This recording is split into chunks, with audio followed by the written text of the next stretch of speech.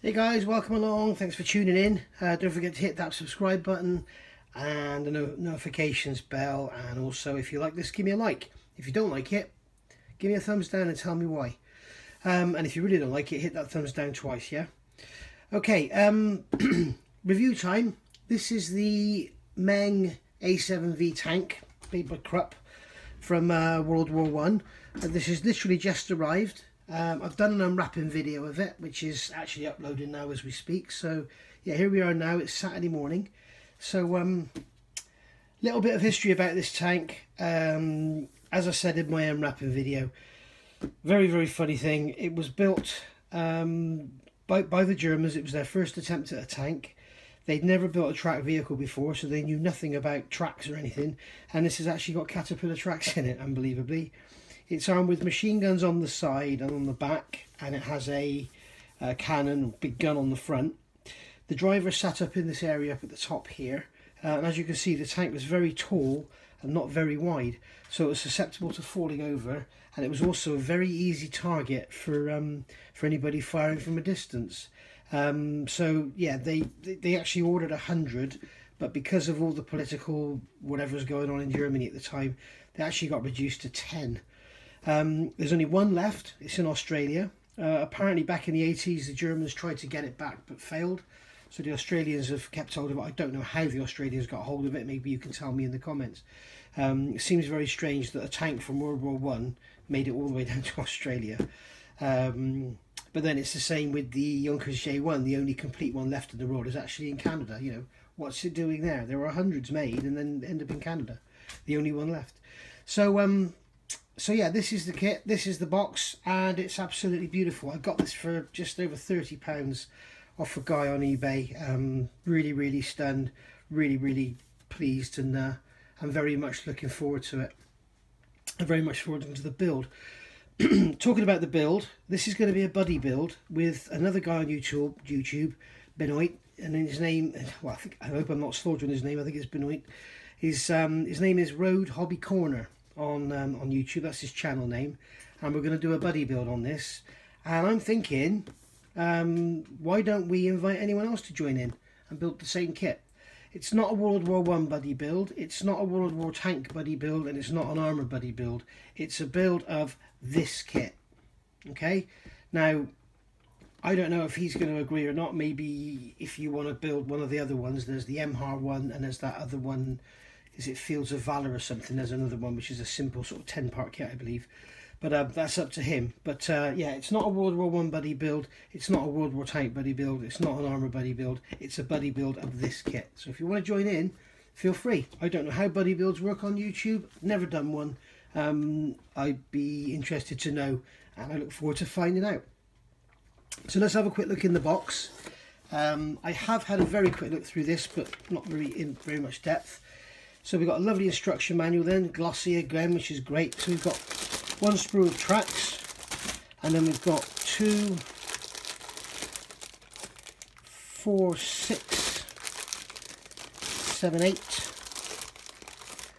eleven, twelve, thirteen, fourteen, fifteen, sixteen, seventeen, eighteen, nineteen sprues of tan plastic,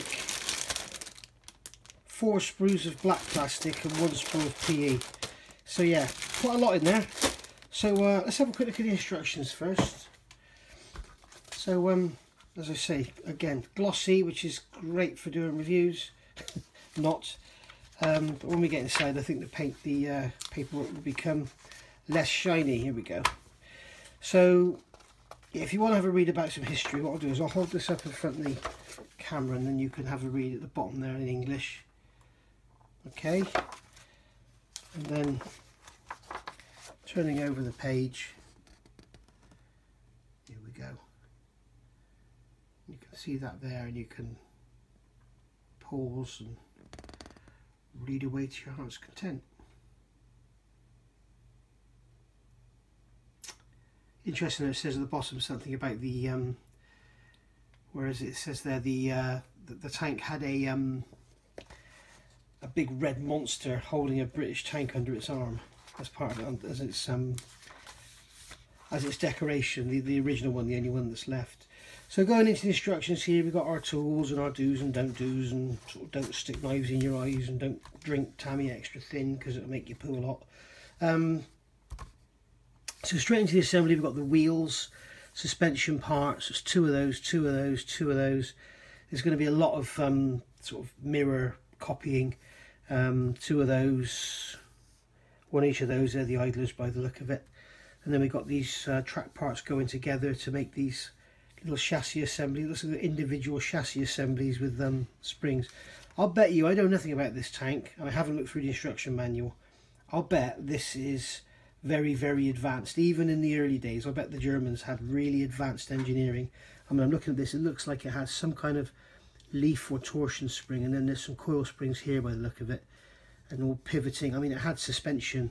Our poor guys didn't, you know, it's uh, it's incredible. Really, the Germans have always been incredible their armor, haven't they? They just why didn't they just make like us? We made so much, you know, we made millions and millions of the same thing, and they just tried to make millions and millions of different variants. And I did hear once that apparently their half tracks um, had needle roller bearings in the tracks in every every rotating or every spindle, you know, every joint pivot in the in the tracks had needle roller bearings you know, the Russians had a pin that was kept in by a bloody welded on angled plate that knocked the pins back in as the tracks went round, you know. So, uh, yeah, always been great engineers, but, um, yeah, I won't say anymore. So, um, going over that, we got the floor we're building here. I do happen to know from a documentary I saw, if you look here, you've got this this shape here with the, the central area. They wanted to build a universal tract platform that they could use for lots of other stuff. So this was just a platform with a tank body on it, essentially. Um, my dog is actually on the workbench and is likely to appear from the right in a second. Um, so yeah, here we go. We're putting the suspension in now, adding the tracks.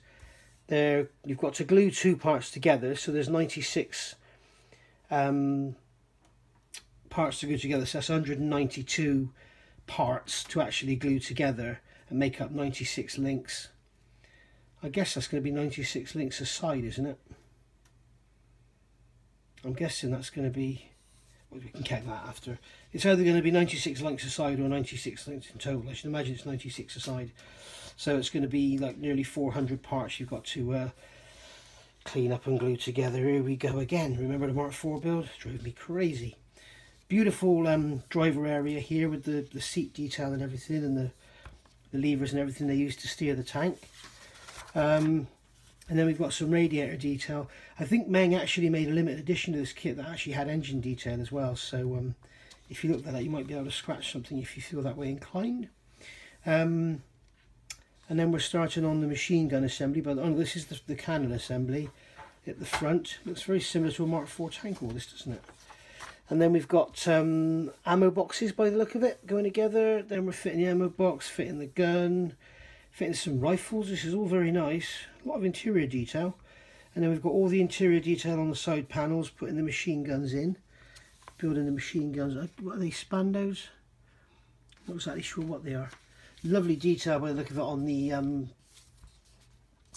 on the uh, armament there the, the bullets. That's even nicer. If, if it's as moulded as nicely as it's drawn there, it's even nicer than Wingnut Wings.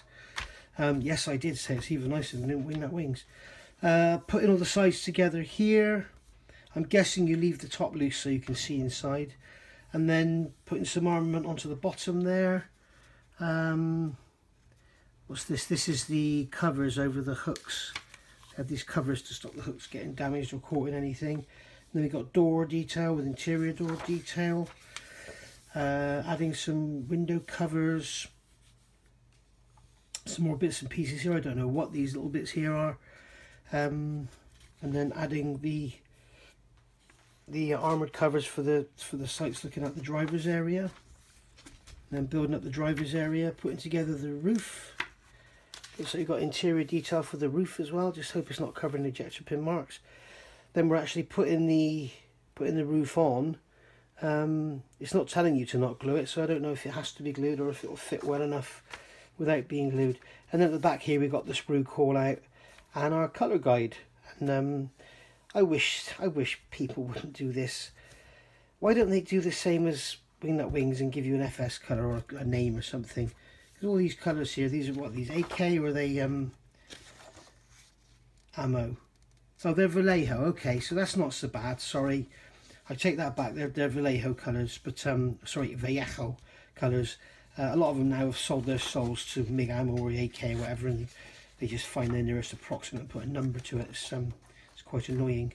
But uh, no, I take that back. I'm wrong. This is actually the um, Vallejo colours. So anyway, there's the colour callouts, decal placement and everything. That's going to be fun getting the decals to go over those slats. So there's the instructions. I'll get these sprues um, taken out of their bags and we'll have a look. Right, so I've got all the uh, sprues out of their bags now. Let's start off having a quick look at the decals.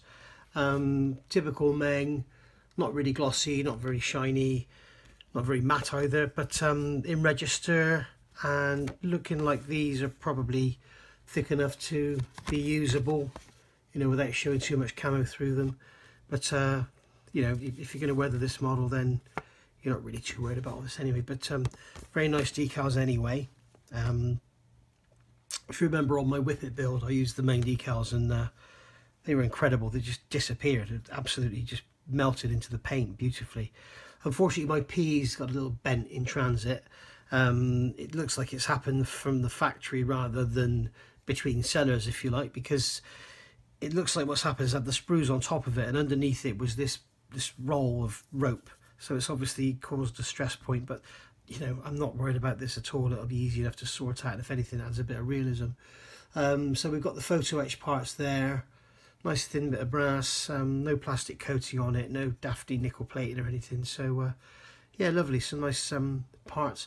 And knowing Meng, all these will fit beautifully. Like there'll be bolt heads that those holes there go around and it'll just fit like a dream, I'm sure.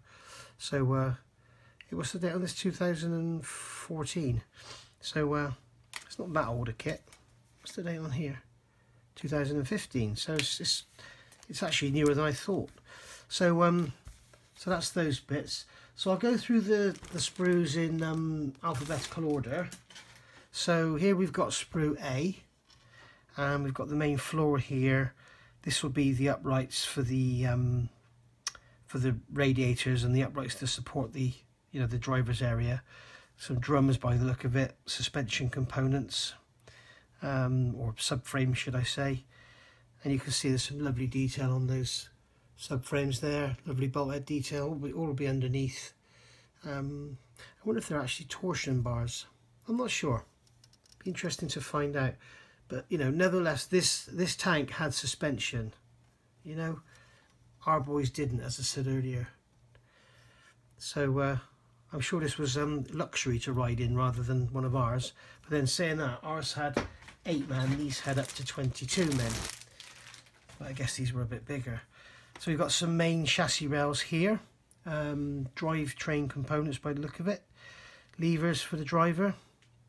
And if you notice, as with most Meng kits, this is all still on the sprue, nothing's bent, distorted, snapped off, damaged or anything. Got some pretty hefty ejector part pin marks here, but uh, looks like they'll be easy enough to just sand out or or fill. Um, yeah, that's going to be underneath. That's obviously the, the diamond plate there.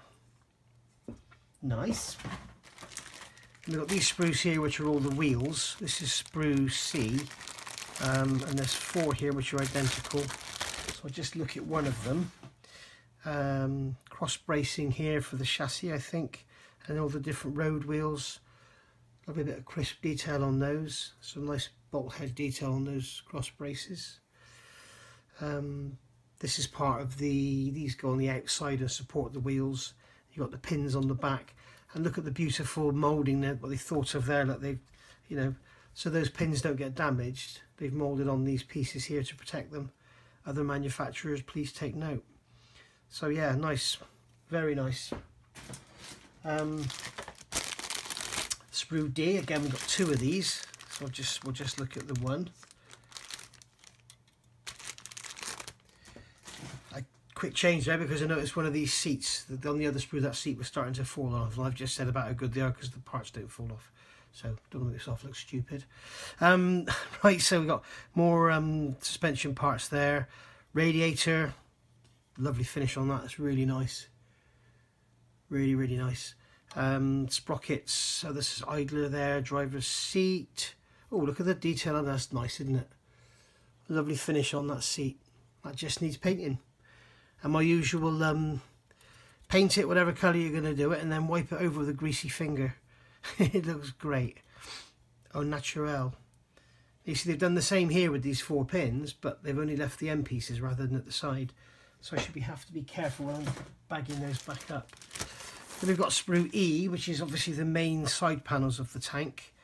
A um, little bit of warpage on here, maybe out of the mould a bit too quick, but uh, not worried about that at all. When it, once it comes out of the um, once it comes out of the sprue, it'll be easy to keep straight. So yeah, lovely detail inside and out. Um, there's these it looks like these are injector pins. Yeah. They're eh, people call them injector pin marks. They're not. They're ejector pin marks. I don't know if people know how a mold tool works but basically you've got two halves of a mold. Shuts up. One side is just dead just a dead side. The other side has all the plastic injected I say dead sometimes they'll have ejector pins and everything in that side but let's just say for example on this one the plastic is being injected. Where's the plastic being injected on this one? I can't see. But anyway whatever side the plastic is injected on so you've got the two halves of the mould plastic could be injected from either side. And the ejector pins in this mold will be on this side because if you look at this side the detail here is a lot more simple than this side here. So what will happen is if it's when it's molded if it's likely to stick to the mold at all it'll be this side that sticks. So what they do is they put ejector pins which are basically pins within the mold. So if you can imagine if I was making a mold of my hand yeah and I was going down into this shape here it's quite a complex shape, so when the mould comes apart, the plastic's going to stick. So you put an ejector pin in there, and it's basically a hydraulically operated or mechanically operated pin that pushes it out. And obviously, because that pin forms part of the surface of the mould, you're going to get a mark when it's an ejector pin. So they're actually, people call them injector pin marks. They're not, they're ejector pins. And then you get the ones which have got the big piece of plastic hanging off the side of them like a wedge they're done so that as the ejector pin pushes out, it holds on to it as well. So they're called Z pins or Z pins. So um, in this case here, rather than have ejector pin marks on the inner walls that you have to fill, what they've done, they've tried to make flat square areas as ejector pin marks, as ejector pins, so that you don't get these pin marks. And as a result, they've left you with a square panel that you can either leave and it'll pick up a bit of wash when you weather it, or you can sand it flat but um, it's certainly not there in real life. So uh, that's what ejector pins are all about. And this is also where you'll see ejector pins here, here, here, here, here, all along here. Look. Yeah, so that's that's how it works. And normally you can see, like on some trumpeter kits or whatever, uh, many other kits, you'll see a lump of plastic that's been either hacked off or melted off. That's where the plastic's gone in. And that'll either be what's called a hot runner or a cold runner. A cold runner is obviously where the plastic goes in and it's not heated. A hot runner is where the plastic goes in and it's heated. So there you go. Right, lesson over. Sorry about the lecture. Um, so this one, yeah, we got a bit of flash here. Look, oh my dear. Um, lovely, lovely detail on the uh, on the external surfaces there. It's going to look great with some weathering, just like that Mark IV did. And then we've got the, the roof section there. There's some panels that go on here to cover them up. And then you've got the interior detail. Again, no ejector pin marks. And here you can see there's those Z-pins I was talking about. Yeah, and what that is, that is an ejector pin. Let's see if I can get it focus.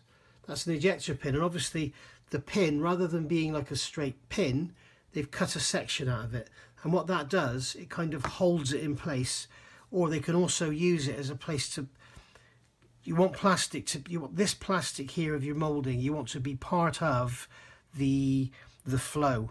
So if you need plastic to flow past something and risk getting you know a short shot or poor molding at the ex extreme end of the channel you're molding down you can extend down into these and then this will ensure that the plastic here is fresh. Oh dear Right, there's no ejector pin marks in any of this, which is absolutely lovely. Oh, tell a lie. there are there's one there one there. There's me saying there's no ejector pin marks there's actually 12 on here. So uh, yeah but they're very very small and they're very slightly raised so they'll sand out beautifully. And I mean really at the end of the day they're the inside the roof so I don't know how much fuss you're going to make about that. So looking on here there's bits of ejector pin marks falling off. Sprue G and we've got some um, floor paneling here which is really nice. Some more paneling detail parts brackets. This is the shield for the machine gun. Some gear parts. I'm assuming this is not the machine gun the actual cannon on the front. Um, lots of lovely little detail parts you can see here. As usual with Meng beautifully crisply molded beautifully crisply molded diamond floor pattern. No it's not checker plate it's diamond floor plating floor plating. Yeah. All very very nice. And then sprue H. We've got the driver's area lookout front and back. And there's two areas on the side as well. Some more plating some more hull plating. I think these are the bits that go up underneath the front and back. Ammunition storage by the look of it. That's the little um, armoured windows or armoured covers should I say. And you see this this annoys me when manufacturers this. They go to the trouble of putting a nice bit of rivet detail in and a bloody great ejector pin mark in the middle of it. What's the point? They've done the same here like you see you've got ejector pin marks here. They needn't be there. They could have put a couple of tabs on the outside here rather than do that. And we're getting close to the end now? This is um sprue J this is another mirrored sprue so ammo boxes by look of it, is that machine gun breeches? Um, some more paneling there. Some lovely detail on these little parts here, I don't know what they are. And there's the plates that go on top. I think this is the ventilation system. And these the side lookouts here for the for the uh, for the driver and co-driver or whatever. Lovely. And we've got this one here, another mirrored one, mirrored one, sorry, mirrored one. We've got three of those. And here are the machine guns. And unfortunately, if they are supposed to be cooling jackets, there is no detail on them whatsoever. Nothing at all. So whether there's some P to go around them,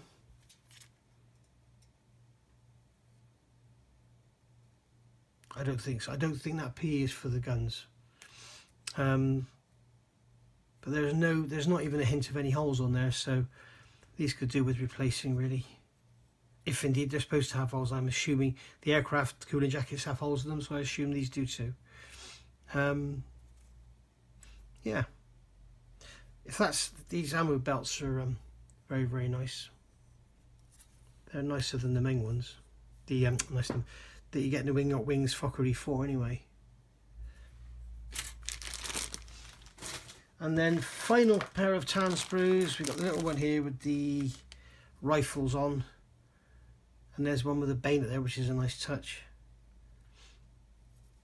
And so these are the old uh, World War One hand grenades. So yeah, very nice. And then we've got the tracks, the beloved tracks, which you know I love so much. Just got one. I've got four of these sprues. Uh, so we've got the actual track patterns themselves. I'll show you the whole sprue. The track patterns themselves, and then we've got the the link parts, which they've simplified by not making them like the uh, Takom Mark IV. It's just actually one part, one link, and it says 96 times. It's two, four, six, seven. So that's 28 on there. 28 so I've got um, 4 times 28 is 112 so uh, yeah it must be 96 links in total then. 48 aside. So yeah all in all a lovely kit. This is the Meng A7 Krupp tank. Now I'm just looking at these machine guns and there is nothing that goes on them. So it does look like they are just plain and it looks like here looking at this image on here they're just plain as well I'll have to do some research and see um, it's a bit weird that they'd have the machine gun barrels with no cooling jackets unless these are water cooled Maybe they're solid cylinders with water going down them. Please tell me in the comments below, somebody looking at this and is bound to be knowing, saying, come on Mike, you should know this. You should know what you're saying. You're doing a bloody kit review. I can't stand watching YouTube and people don't know what they're talking about. Well, sorry, you don't have to watch. Anyway, um, thanks for watching. I'll uh, be doing a build of this very soon. Obviously waiting for Benoit, Benoit, I'm sorry mate, Roadie Hobby Corner, waiting for him to get hold of his kit and then we'll make a start. And if anybody else wants to join in, then feel free. We're obviously not going to wait forever, but we can wait a couple of weeks. So um, thanks for watching, like, subscribe, and uh, see you all soon. Bye-bye.